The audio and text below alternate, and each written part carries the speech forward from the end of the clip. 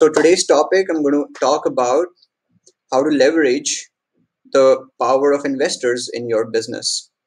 And this topic is, you know, very interesting and uh, it intrigues most people. And it's not just intriguing; it's actually is most effective technique that you can deploy in your business right away when you're starting it for the first time, or even if you are in business for past five, ten years. You can uh, leverage the power of investors anytime you want in order to speed up the progress in growing your uh, in building and growing your business uh, quicker. So you see uh, investors are very interesting people. They have a lot more capability to take risks and you know uh, they have an appetite. They have a, a bigger appetite than normal people. So so watch. So you know customers you're trying to build a business selling products and services to customers. So what will happen is that the customer will need you to have a brand name, right? You need to have a brand name in order to convert a customer. You need to show them, you, uh, you need to have a really good quality product or service, right? And then you need to show them proofs. You need to provide them with free services or you know some some freebies as well right? And then you have to provide them with guarantees. You have to provide them with uh, great support right? And then they don't even pay you as much. They you know purchase they, they try to go to a seller who is providing the same product or service for cheaper right? So you have to keep your prices competitive. So you have to keep competitive prices. However the investor on the other hand he doesn't need a brand name because you know investor by definition is a person who invests in people who are underdog entrepreneurs who have a particular idea or a particular strategy or a particular product that can resolve a particular problem in the market and the investor is willing to take risks. And he's willing to bet his money on that idea on building that idea growing that idea further. So the investor doesn't need a brand. He doesn't need a product or service you don't have to build a product first in order to convince an investor in order to invest in your business right?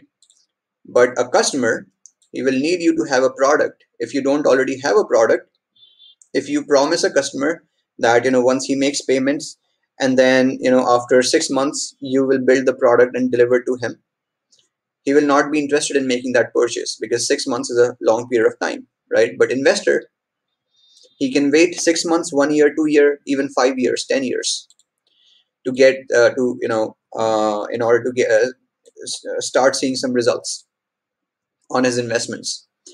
So investor doesn't need you to build a product upfront in order to convince him. You know he doesn't need proofs that this particular idea is go actually going to work. Investor doesn't need guarantees. He always knows that you know there's a risk involved in failing you know succeeding a business failing a business. There's always you know ch chances that it's a high risk investment right? Now investors they have their own techniques methodologies in order to lower that risk by empowering the entrepreneur with additional resources and procedures so that their risk of investment will be minimized. But apart from that you know the point is that they are willing to take a lot more risk than a normal customer and then investors have you know uh, they don't uh, need you to have you know competitive customers they need competitive prices but investors they are willing to invest you know a lot more money into your business to make sure that your business actually succeeds. Because if he invests very little money then that does, does not guarantee the success of an idea. You know and an investor understands that any idea needs enough backup enough capital in order to make it a success. We need to invest enough amount of energy behind an idea in order to make it a success. So investor understands that. So investor has a huge appetite in taking risks. He has a lot of money. Even if he gives you $100000 he can still afford you know 50 more entrepreneurs like you right? He has a lot of money he has millions of dollars billions of dollars whatever right? So the point is that the customer does not have a high appetite in taking risks risks but investor has a high appetite. So this category of people they are high risk takers and they are uh, and that's the reason why they are easy to convert as well. Now does that mean if you approach any investor he will just pay you any amount that you ask for? No of course he won't because he doesn't know you he doesn't trust you but if you deploy the right sales process on an investor, he will convert a lot quicker as compared to a normal customer. So, for example, your sales process is uh, producing, you know, is uh, is getting a success rate of 15% on normal customers. And then if you deploy the similar techniques on the investor, you will get much higher, like 20%, 25, 30% success rate on investors. Because investors, they have ability to take a lot more risks on people. Right? So that's the difference between investors and normal customers. So so what watch what happens. So let me give you again uh, a legendary story about you know santa banta and papu right? So watch what happens with these people. So so santa is trying to let me uh, use paintbrush. So uh, Santa Banta and Papu right? So Santa he starts his business and he is you know trying to sell a service and he's investing about 30% of his time on getting customers and then he's investing about 70% of the time on delivering those customers whatever service he is offering right? So let's say when he's investing 30% of his time on getting customers and 70% on delivering those customers let's say he's just getting one customer a day or one customer a week or any period of time right? Let's say he's getting one customer a day so he sees that he's getting only one customer a day. So his revenue you know is dependent on only just one customer. He's making only you know small amount of revenue.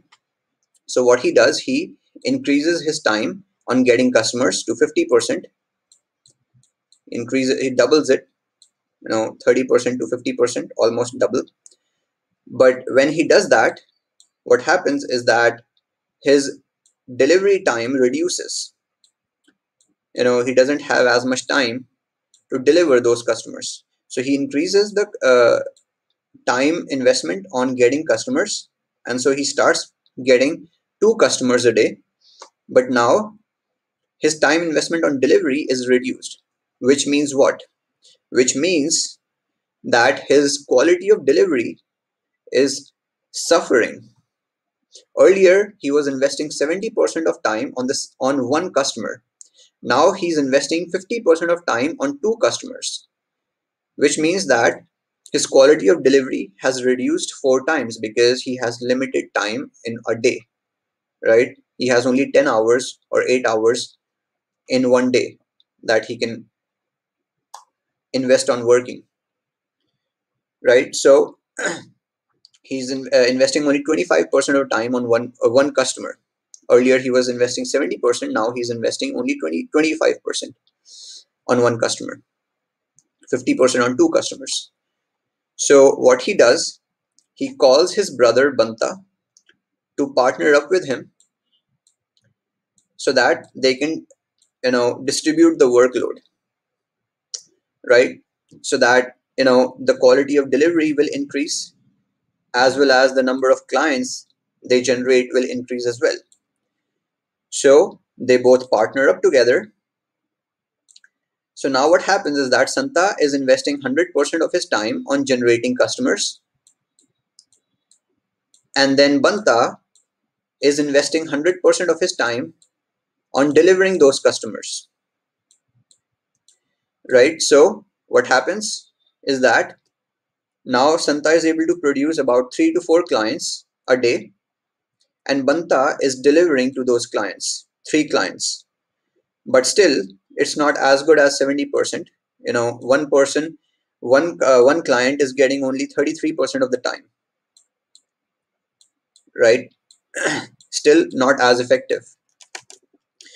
So the customers are not as satisfied as they were in this scenario when the when one person was investing 30% of time uh, now there are three people a day and each person gets only seven, uh, 33% of the time right? So the delivery is still not as good and the model is not as scalable. Now watch uh, what Pappu does. So this guy Pappu legendary guy so what he does he applies a different strategy he notices you know what happens here. You know it's not possible to you know find customers and then deliver those customers by yourself or even if you know you have one or two people it's still not enough. And even those those customers are paying you only like you know $500 $1000 which is a small amount of money right? So it's not possible to hire people in the delivery side in order to scale up the delivery process right or in order to you know deliver uh, good quality results. So what he does instead of you know trying to sell to customers for $500 or $1000 he approaches investors. So he focuses on investor on converting investors. So investors are his customers basically. So he goes out there he converts one investor who pays him $100000 right so let's say $20,000, $50,000, it could be any amount, but let's say $100,000 to make the numbers easier to understand, right? So Papu goes out there instead of trying to convert customers, he converts investors. So one investor gives him $100,000. So what Papu does is that with $100,000, he hires 10 people. So 10 people he deploys on building a product so 100% of the time of those 10 people is going into building a high quality product, right? Product.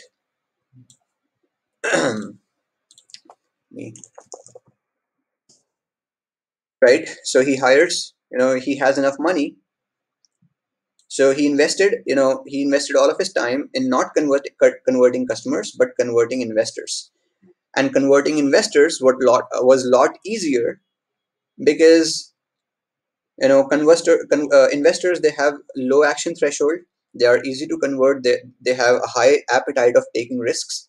Customers on the other hand they take a lot more amount of time to con- uh, to convert. They want to do like you know thousand different t- things in doing research. They, they want to talk about it. They want to think about it. They want to do all sorts of things before they even spend one dollar on you right? But investors they don't need to inv- uh, they don't need to think too much. And it and you know customers might have affordability problems like they might not be able to afford the $500 amount but investors don't have the affordability problem either right? So investors they have low action threshold they are they have high risk uh, appetite they have a lot of money to afford and so it's very easy and quick to convert these investors if you deploy the right sales process. Now you might have heard case studies you know where, where people are trying to find investor and they even after five ten years they're they're not able to find an investor. But that's because they don't understand sales. They don't understand how to optimize the sales process. They don't understand the principles of sales or they feel like you know they're not able to find the right type of investors because they are not able to convert them. So that's what happens if you don't optimize your sales process. But once you optimize your sales process, you know, convert uh, investors are extremely quick to convert. They convert very, very quickly. and so what happens is that you know Papu goes out there and uh, instead of investing time on converting uh, customers, he invests all of his time in converting investors, and he gets investors easily because investors are easy to convert. Santa was investing a lot of time and he was just getting you know one cust- uh, one customer a day. Pappu was getting a lot more was able to convert a lot more investors in the same amount of time because investors are easy to convert right? So he gets money from one investor. He invests in building a product team a team to build the product continuously building optimizing testing improving the product a full-time team dedicated specific specialized team high quality team with high quality skills right? And he pays them really good amount of money so that they would be interested and focused and passionate and dedicated to build that one product that the customers these type of customers need right and automating the entire process of delivery. And then what he does he doesn't start the sales process yet. He goes out there again to find another investor second investor and that investor gives him again one thousand uh, hundred thousand dollars. So he uses that money to build a sales team. He hires you know three five people in sales team and he deploys them on automating the sales processes and building the sales processes of the company right? So all of those five people 100% of their time is being invested in the sales processes optimizing and automating the sales process. And 100% of the time of these com- uh, these people development side is going into building the product. So again it's not a good art but i think you get the picture right so that's how pappu scales his business that's uh, that's the strategy that pappu deploys and this is the strategy that Santa and Banta deploys. So who do you think is going to grow his business a lot quicker? Santa and Banta who are dealing with customers who don't have money to pay, or not able to afford, and who have a high action threshold, they're not easy to convert, or Pappu who is dealing with people who have money, who are rich, who are high risk takers, who understand the value of building technology. People who understand you know who value long-term visions is Papu going to scale up quicker or is Santa Banta is going to scale up quicker? The answer is very simple. Papu is going to scale a lot quicker because he's dealing with the right type of people and his strategy is a lot more optimized. Right? Now the question is how to find these investors how to find people who have money to pay right so it's a very simple question and i'm uh, you know i'm going to keep this session short. It's uh, again about 18 minutes. Yesterday's session was too long so i want to make sure i keep this session short but just to give you some golden nuggets. You know rich people are how to find rich people. So rich people how to find investors right?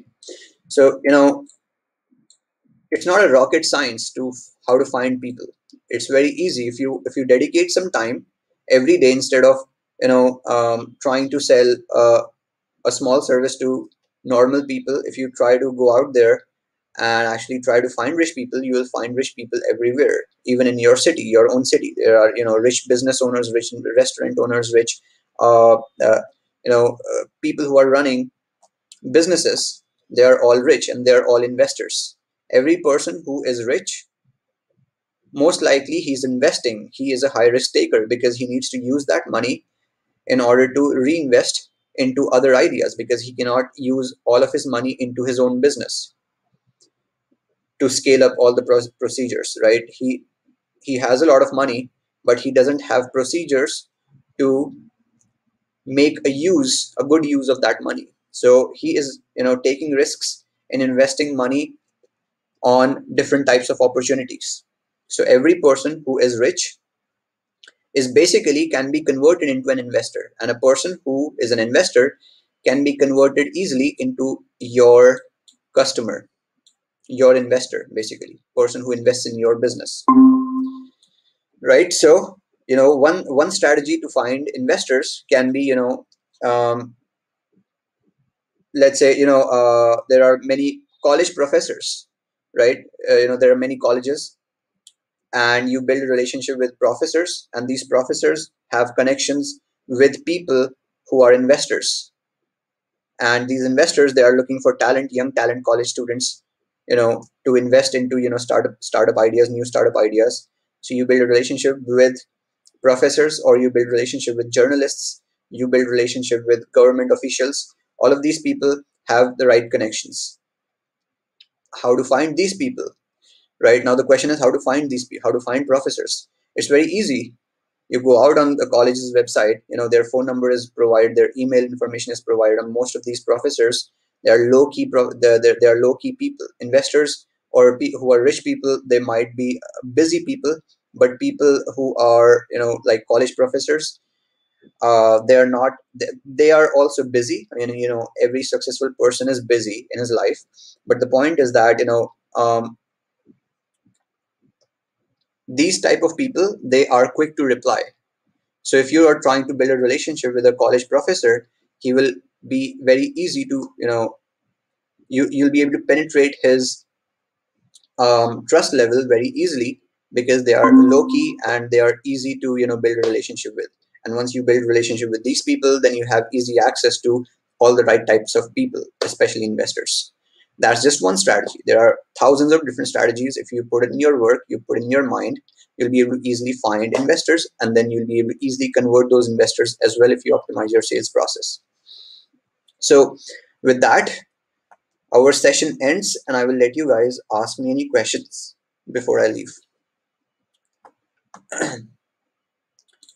So any questions